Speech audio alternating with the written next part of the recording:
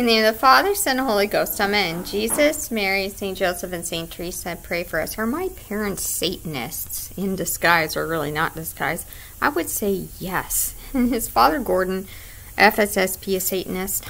I would say yes. Anyone that wants to break up the family structure willingly is a Satanist in disguise. And we know that the devil likes to hide as an angel of light. And if they tell you, if they scream out and say no, that is truly a demonic problem because anyone with humility would say, "Oh yeah, I'm broken, I'm fallen, I need God." If they say, "No, I don't," you're a liar. Uh, you know, I'm going to heaven, stuff like that. That's definitely some sort of demonic possession. And the fact that they're hiding Asher from me for so long and slandering me. Uh, is really an act of hate against the church and God and dragging down the Catholic priests with them, who the Catholic priests are more than willing to fall